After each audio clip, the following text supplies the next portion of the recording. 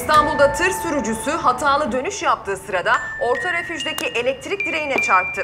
Çarpmanın şiddetiyle elektrik direği trafikteki hafif ticari aracın üzerine devrildi. Araç kamerasına yansıyan kazada şans eseri ölen ya da yaralanan olmadı.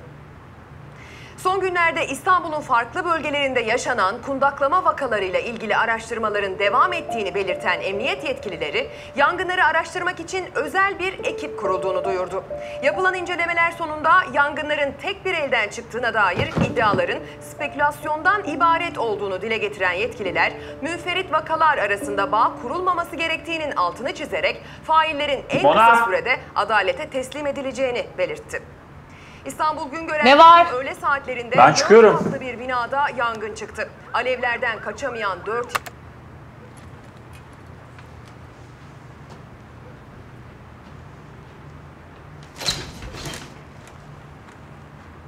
İyi. Arkadaşlara söz vermiştim. Acil bir şey olursa ararsın. Olur. Olur. Nasıl arayacaksın bana? Sende numaram mı var?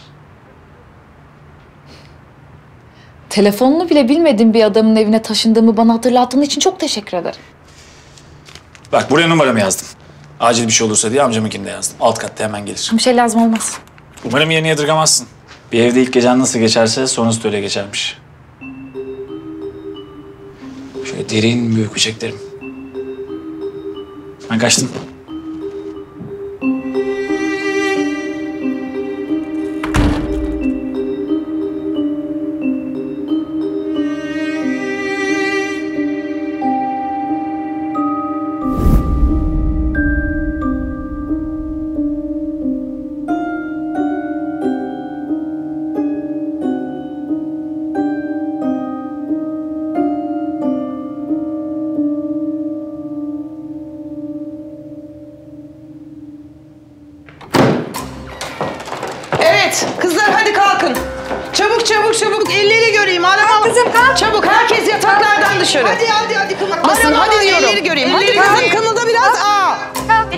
Açıl. Bekle çabuk.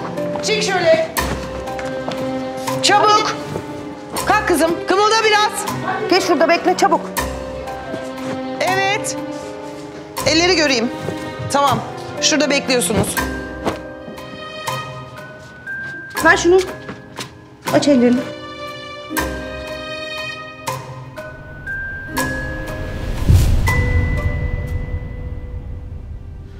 Müdür hanım buldum.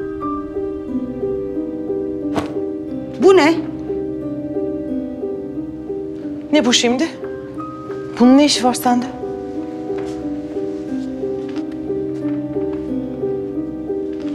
İlk geceden hırsızlık ha? Burada işin çok zor küçük hanım. Bunu senin burnundan fitil fitil getiririm. Çabuk söyle neden aldın? Tıp oynamanın zamanı değil. Konuş dedim.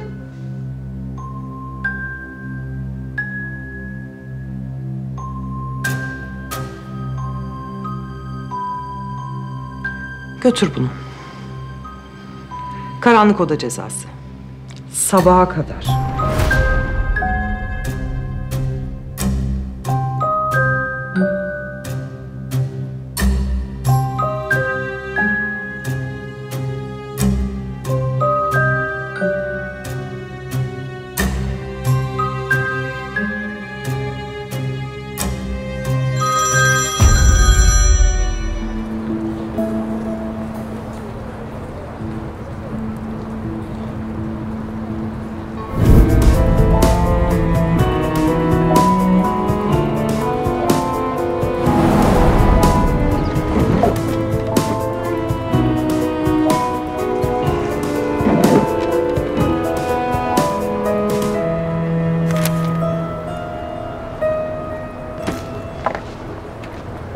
Senin iyiliğin için.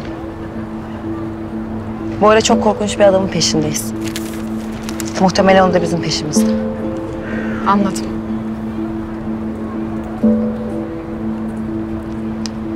Ama yine de yüzünü görmek istedim. Nasılsın?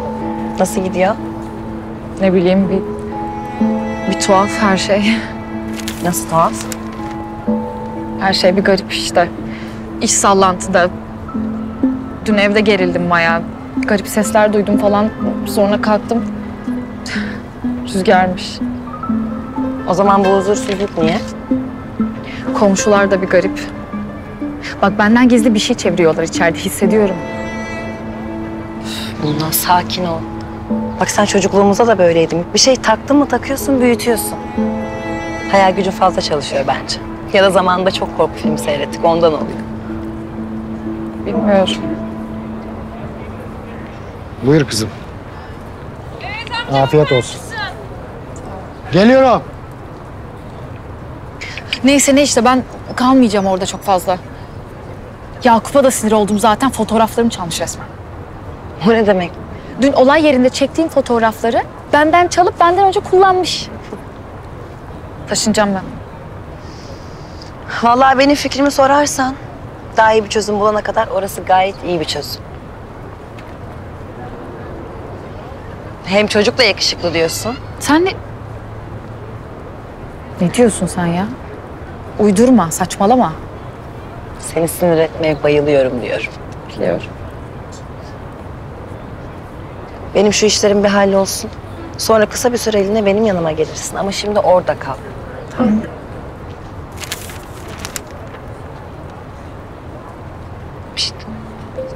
Bir şeye ihtiyacın var mı? Yok. Seni özledim sadece. Ya biraz siz de susun.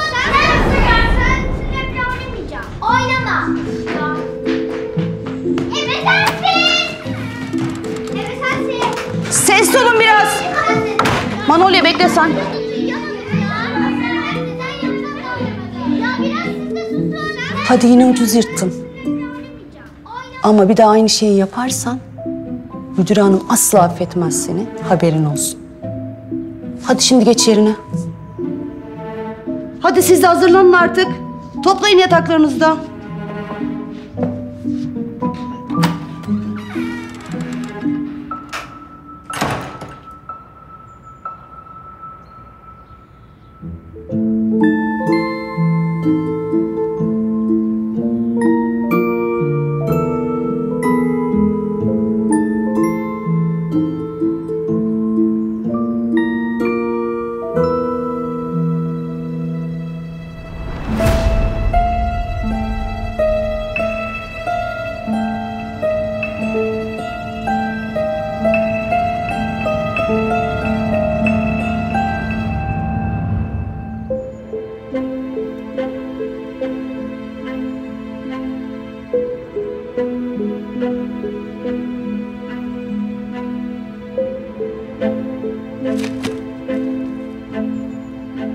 anlatmaya çalışıyorsun?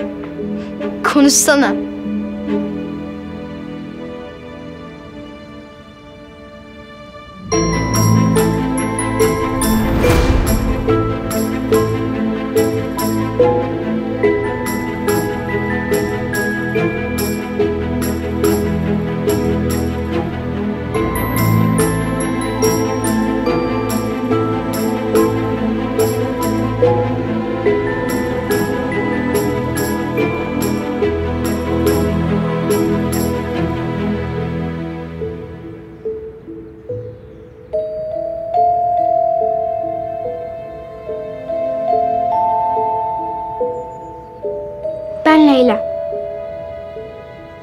Memnun oldum.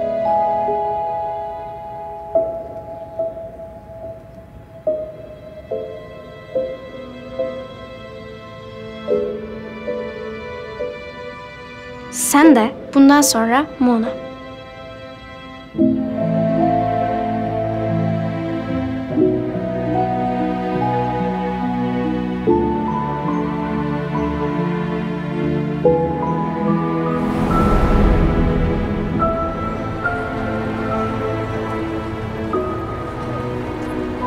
Çok özledim Leyla. Ben de seni çok özledim. Ama şimdi gitmem lazım. Biliyorsun fazla yoğun.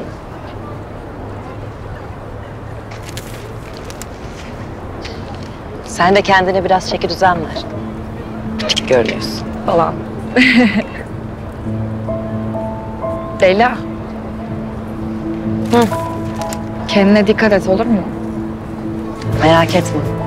Bana bir şey olmaz.